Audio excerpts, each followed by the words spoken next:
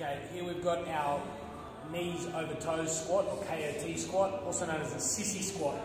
Um, what we've got is we've built up a little bit of a platform here. This is where you sort of start up nice and high as a beginner level. We've got our platform with a couple of weight plates. The higher you go, the easier it is. So we'll demonstrate that and then we'll slowly take you down and show you a little bit more advanced.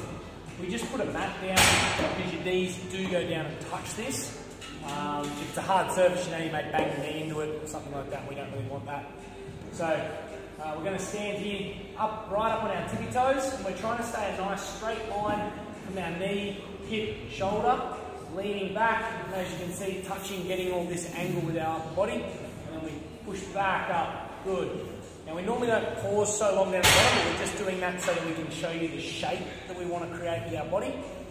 As you can see, you're leaning way back, bringing our shoulders back behind our heels, and then coming back up.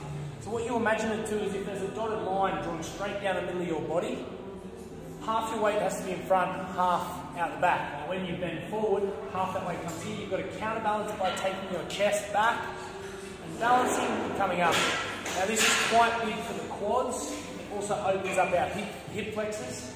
We get a lot of big toe and calf work in here as well. Just a bit of a bonus sort of thing.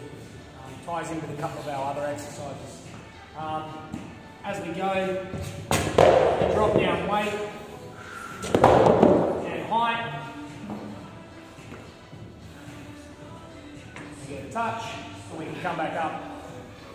We can also try to balance it a little bit more.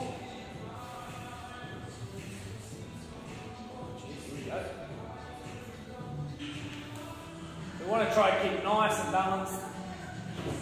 Touch and come. Get a bit of a rhythm going through. There. That's those.